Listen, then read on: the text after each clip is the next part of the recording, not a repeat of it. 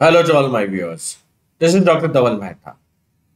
And today we will understand how to import CSV file into KNIME. So for this, we will go in the environment of KNIME.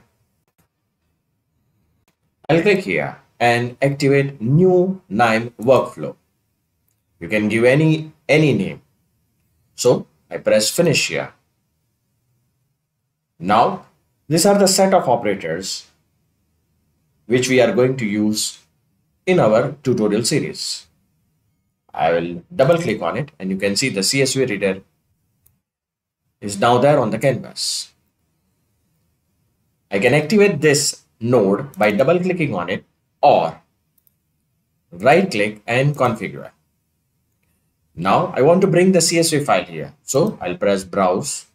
Wherever my file is located, I'll bring it here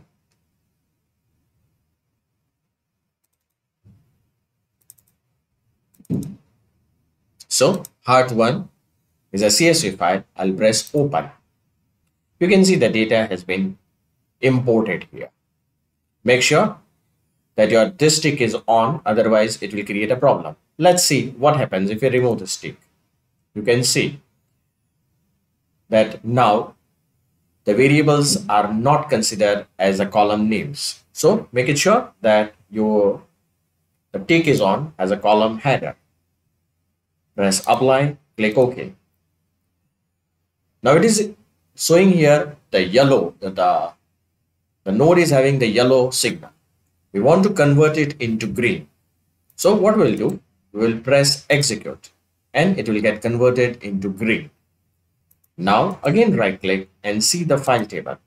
You can see the data has been successfully imported into the KNIME platform this is a way you can import CSV file into KNIME.